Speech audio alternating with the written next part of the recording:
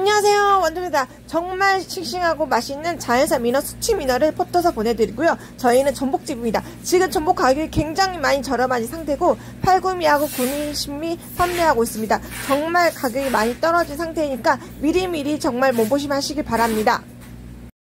안녕하세요. 안도사입니다. 저희가 지금 140미 파조기를 포장을 하고 있습니다. 140미 파조기는 21에서 22cm 정도 되는 크기로 되어 있고요 창이 좀 커지, 어, 터지거나 상처가 약간 나서 가성비 좋고 좀 더 큰 사이즈를 저렴하게 드실 수 있는 정말 맛있는 파조기입니다.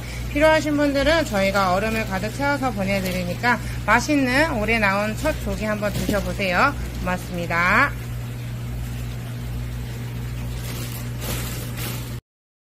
바라 파조기란 사이즈가 섞인 파조기를 말씀 말하는 겁니다. 사이즈가 섞이고 이렇게 내장이 터져 있는 걸 파조기라는데요. 보시다시피 가격이 굉장히 저렴한 상태입니다.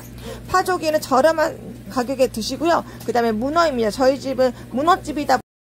문어는 얼음을 채워가지고 보내드리고 있고요. 그 다음에 저희는 이제 이렇게 살아있는 거 판매하고 있는 자연산 참소라입니다. 참소라는 정말 달달하니 너무나 맛있고요. 정말 수족관에 살아있게 보이고 지금 가장 많이 나가고 있는 강고등어입니다. 강고등어 정말 이게 폭발이고요. 10마리, 20마리씩 판매하고 있습니다. 젓갈 쌈장입니다. 갈치 속젓이라 하죠. 이렇게 판매하고 있고요. 그다음 4kg는 엄물에 45,000원 그대로 보내드리고 있습니다. 그 다음에 추젓하고 북새우젓도 같이 판매하고 있고요. 가격은 똑같이 판매하고 있습니다.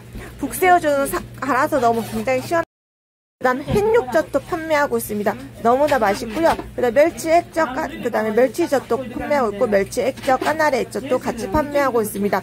국내산이고 너무나 맛있습니다.